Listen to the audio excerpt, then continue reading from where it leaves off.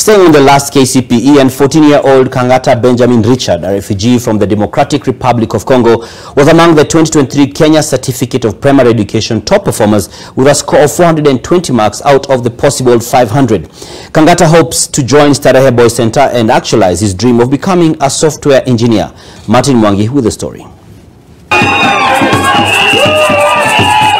Songs and dance filled the air at accurate schools in Comarox, Nairobi, as parents, teachers, pupils, and the community at large celebrated the performance of Benjamin Richard Kangata.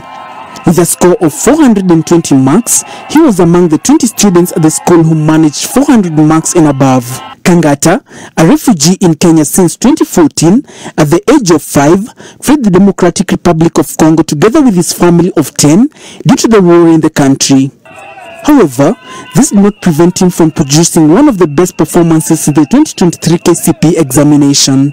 Nilikuwa nafikiri labda pengine alama zingekuwa juu, mtoto wa kwanza angekuwa na maybe mia nne arobaini lakini lakini bado pia tunashukuru Mungu. Without any knowledge of English or Kiswahili, he had to work harder to catch up with the other children after being enrolled in the Kenyan education system. Mwanzoni mimi sikuwa najua Kiingereza na Kiswahili, mimi nilikuwa tunajua Kifaransa na lugha ya mama.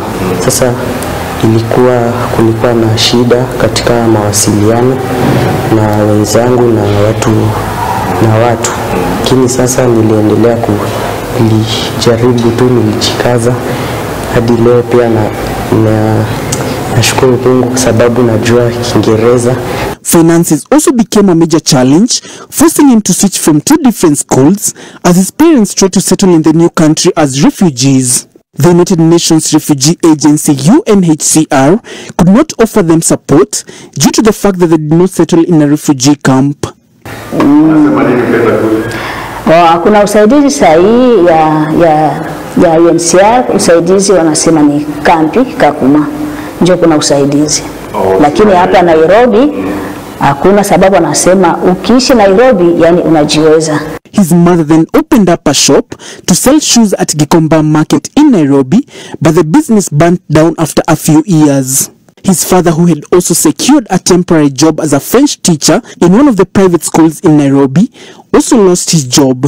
Despite the challenges, he not only adapted to his new environment, but his determination saw him get sponsorship at accurate schools in Nairobi since class 5. His teachers fully believed in his potential. Kageta, apart from being bright, he's humble and God-fearing child.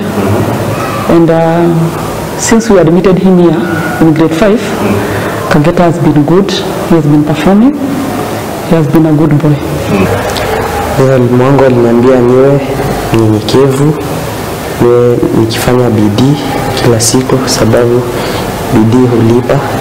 E, na walimu wote kwa kila somo wanaendelea tu wanaendelea kunisaidia. For him and his mother, the only hope is to get financial support through secondary school education in order to realize his dream of becoming a software engineer.